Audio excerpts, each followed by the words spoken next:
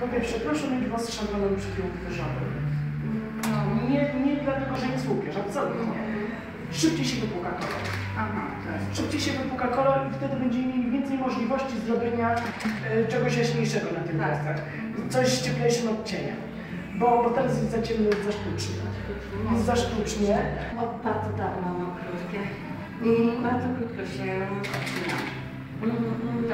Znaczy, nie jest źle, absolutnie, nie jest źle, jest to już nie do skorygowania, tylko nie chciałbym, żeby, e, żeby Pani wyglądała w tej fryzurce za poważnie. Zapamiętałem e, te zdjęcia.